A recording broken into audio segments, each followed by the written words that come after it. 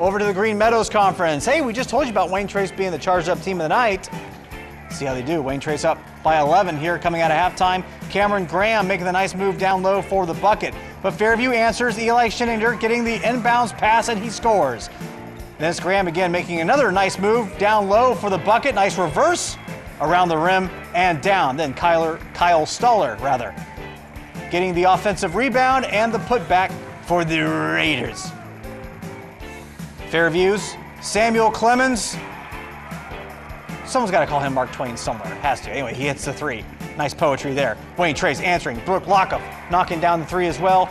Wayne Trace getting the 74 47 win over Fairview. Lockup with 18 points. Cameron Sin chipping in 14 for Wayne Trace, who is still unbeaten in the GMC this season, improving to 15 and 1 overall.